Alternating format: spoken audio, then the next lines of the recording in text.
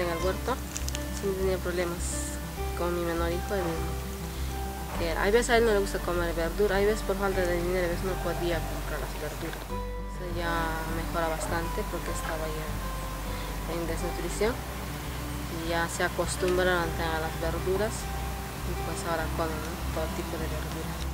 Es muy importante, uno, porque es más saludable, y dos, es, es para que dentro de la familia, los hijos, compartamos, ¿no? al sembrar, al enseñar, a que valoren ¿no? eh, al trabajar en la tierra, que es más nutritivo, que tiene, es más saludable estar comprando. Hay veces, muchas veces no tenemos dinero y sembrando no tiene para comer. Me ahorro bastante porque al menos ¿no? en el tomate, el tomate está a 3 soles sin mentir, en mi casa el medio kilo de tomate en un día no hay. Y cuando tengo mi huerto, entonces es constante, ellos sacan, comen, sacan, ¿no? Porque, y, diario ahorrándome así, hay veces no es solamente medio, un kilo, se me va en el día. ¿no? Está, todos los días no sacando eso me ahorro bien en la verdura.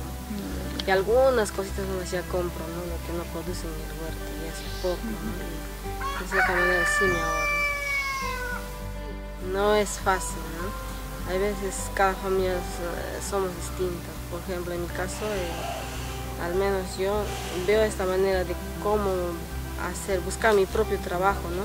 Para sustentar a mi familia, porque a veces mi esposo es enfermo, no estamos. Entonces es difícil, ¿no? Para una mujer conseguirse el trabajo, ¿no? Entonces, eh, en mi comunidad yo sé que hay muchas mujeres igual, con muchos problemas que a veces uno se siente incapaz de buscar un trabajo, de trabajar. Sí es difícil buscar un trabajo.